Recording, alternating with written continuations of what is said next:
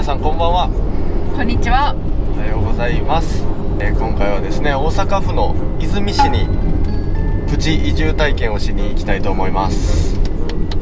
何年か前にこの泉市にねうん。動画を撮りに来たことがあるんですけどはい。その時もまあ泉さんつながりということで、うん。お名前が一緒です。ありがたいですね。ありがたいですね。ありがとうございます。今回はですね、まあ実際に住んでみたらどんな感じなのかっていうのとうん。住んだらいろいろ支援があるよっていう街なのでうん。そこら辺もねチェックしに行きたいと思います。まあ嬉しいことにですね。はい。私たちも一応新婚ということで。新婚ですねあと家族もね増えるということなのではい。すごくありがたい。体験じゃないでしょうか。やっぱり住む場所とかねうん。子育てしやすい街とかうん。今まであんまりこう考えることは全くなかったんですけど 無縁やと思ってたんやけどうん。まあ実際にやっぱりどういうお家に住みたいかとかなどういう街に住みたいかとか結構いろいろ話してたのですごい今回はありがたい体験をさせていただけるということで皆さんにもその魅力がね少しでも伝わればいいなと思います、もう新婚さんいらっしゃいやな言うたら。新婚さんいらっしゃい番組をやらせてもらってるみたいなもんや。最初にねあの大好きな道の駅の方うんうんにうん。ちょっと寄っちゃおうかなと思います。うん道の駅はなうん。ないからな。ないね。意外に大阪って。そう。泉市はなんかあの都会田舎っていう。都会田舎ねそう。都会プラス田舎？の略なんかな？都会と田舎がいい具合に混ざってるっていう。で都会田舎っていうみたいなんですけど。まさにねなんか自然がいっぱいあったりとか周りには結構大きい商業施設があったり。ここに住んだとしてもほんまに車で5分ぐらい行ったらララポート行けるもんな。確かに大きいララポートな。のコストコとかもあるみたいだし。それはすごい便利かもしれん道の駅泉三愛の里は行ったことある？道の駅泉三愛の里はねうん。覚えてる？見たらわかるかもしれんけど、うん。ちょっと今のところはもうわからへん初めての。ルーブルは初めて行くでいいね、はいそこ。もうややこしいから。見たらわかるかなじゃなくて。な行ったか行ってないか聞いとんねんこっちは。これが新婚さんの喧嘩？もう山や。ハイキングとかできるんかな？できそうじゃない？ハイキングコースめっちゃありそう。えー、いいな結局自然な場所に限るよなかといって結構その家探しっていうか私たちの場合はね特に絶対この辺に住まなあかんっていう決まりとか特にないやん。ない。だからこそさやっぱ田舎っていいなって思うけどさやっぱなスーパーとかなかったらなやっぱ不便やねんなそれはそれで。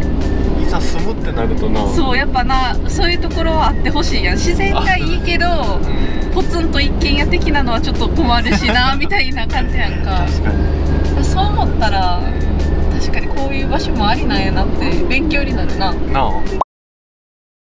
ということでですねこれが道の駅泉山あいの里の地図ですね。まずびっくりしたのかな？公園があんねん。子供が遊べる広場みたいな。千葉産品販売所。ここで野菜をがっつり買って帰りたいと思います。玉ねぎちょうどね買おうかな。うん。安い4つで150円や。すげえ。寒くなってきたら大根をな炊いたらなええねん、なるほど。これが新婚の買い物や。泉さんが泉市で買い物をしてるシーンは絶対ない。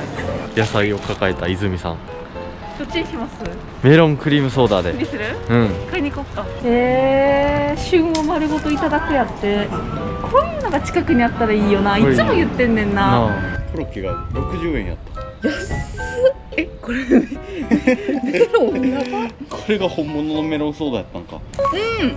美味しい。いいな公園もあるから。うん。テーマパーク遊びに来たぐらいのレベルやな。かなり大きく出たなテーマパークで。やっぱ主婦の人とかやったら子供も遊べさせて買い物もして帰れるってめっちゃ嬉しない？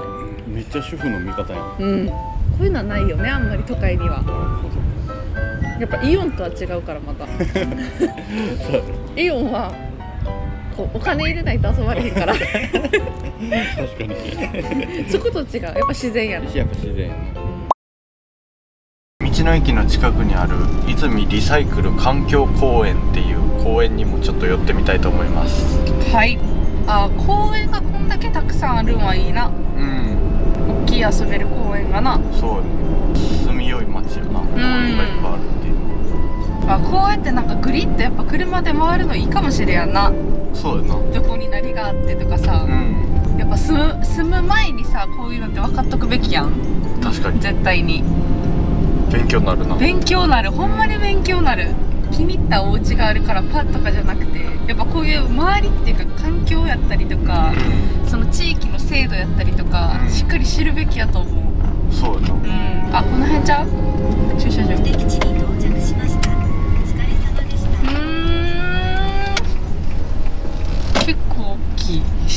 し結構人が多い。あ。あ野菜市がやってんねんって土曜日と日曜日は。水仙とかなのかな。今は9月から10月やからコスモスや。新婚にぴったりやな。なんか新婚旅行や。めっちゃ安上がりやん。ただなんここ。ただ。やば。へー綺麗。写真撮ろっかなせっかくやし、うんコスモスだけじゃなくていろんなのが見れるんやそう結構広い。新婚ほやほやですがうん。気分の方はどうでしょ気分このコスモスのようにううん。太陽に向かってまっすぐとうん。2人で一生遂げたいと思います。じゃあカー君にとって新婚とは？バラ色の日もあれば白色の日もある。バそれがラ色の日もあればってどういうこ それが新婚。とうわーイズラには似合わんな新婚っていう字が。なあ。うん。今から。うん。我が家に。我が家？我が家に向かいたいと思います。と言いますのも。と言いますのも住んでる気分を味わおうということで、うんうん住宅展示場に行きます。うんえ住宅展示場初めてや。初めてよな。人生で初めて。ちょっとだけ住宅展示場の受付とかはしたことあるけど。いや初めてちゃうやん。けど伊豆がやっぱこう幼い時から思ってたのは将来結婚した旦那さんに家を買ってもらうっていう。なるほど。それ俺が買わなあかん感感じになってる。そう。やねまああわよくばオーストラリアとかで 本当は買ってもらいたかったんやけど本当はな？うん。えそのちっちゃい時から思ってたのは、うそうそうそうアメリカとかオーストラリアとかで大きいお家に住むっていうこう自然豊かな場所で。どうんうん。まあまあまあ結構ハードルもあるし、あそうやな、うん、なかなか難しいと思うから。ハードル高その中でも、うんこう自然豊かで、うなおかつこうスーパーも近くにあって だいぶ現実的になってる。そう。これが現実やねほんまに。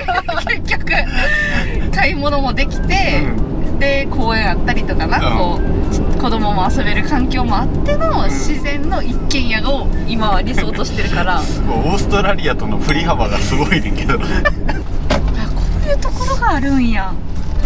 こういうの探すんやななあ。お家行く前になんか見かけたことあるけど入ったことはないな。ないな。気軽に入っていいんかなっていうちょっと。抵抗はあるよな。あるある。ということで着きました。着きました。モデルルームモデルルームですね、はい。今回はこの大和ハウスさんのはい。人気ナンバーワン商品って書いてます。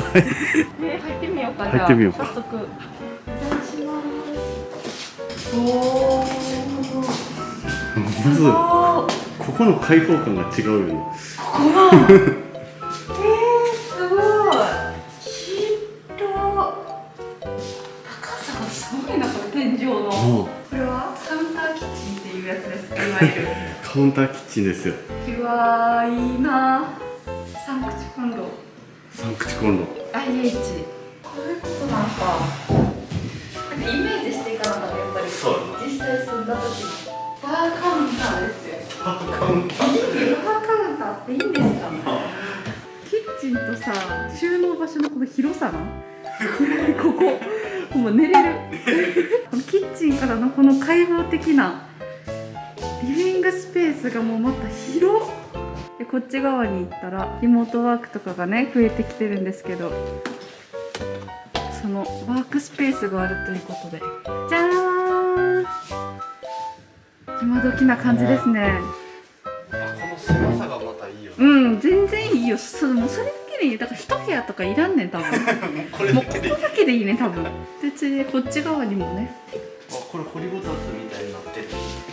うんうんうん。うんここからこうやって妻を眺める。ねキッチチンの妻も眺めるん？そう。それがまたいいね。これがまたいい。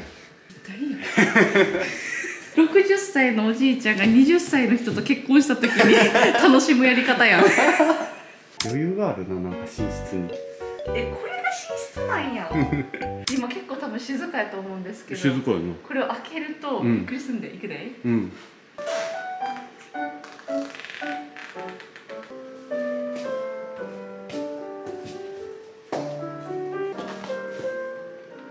こんな感じになってます。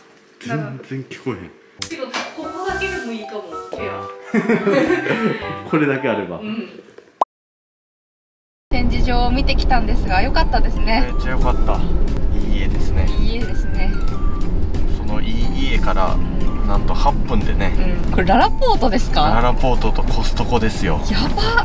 まあ、ちょっとせっかくなのでうん。コストコ会員っていうのもあってはい。久しぶりにちょっと行ってみようかそうやなせっかくやから。そう、まあ、中は取れないんですけど、うん。まあ、ちょっとお腹も空いてきたしうん。軽食買ったりとかしてちょっと最後振り返りますか。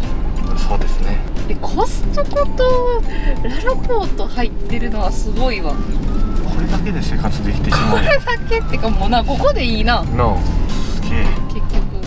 で結局イオンとかそういうのすごい説あるからほんまそうやね大型ショッピングモール。そう。もうあれあったらほんま何のあれもいらん。うんコストコに行ってまいりました。サクッと行ってサクッとお買い物してあとクラムチャウダーをねうん。買って帰ってきたわけですが。どうですか一日この出水市の。住みやすいね。住みやすいと思う。うん。これはきっと。てかもう人のこのうん。数を見て思った。程よい田舎やんか、うん。にしては人がやっぱめっちゃ多いやん。活気があるよな。そうそうそうそう。結婚してから子供が生まれる前にとどういうどんな街なんやろっていうのをねそうこう見に行ったりとかして実際自分らをでなう足を運んで車を走らせるっていうんなるほど。感じが深いね。すごく良い体験ができたんじゃないかなと思います。はい。ということで、えー今回動画で紹介した詳しい内容ですね。動画の説明欄に貼ってるんでよかったらチェックしてみてください。私たちの新婚おうち探しまだまだ終わりません。シリーズやったこれ。シリーズ化していこう 見ちゃうとなそらいいなってなるよな、うん。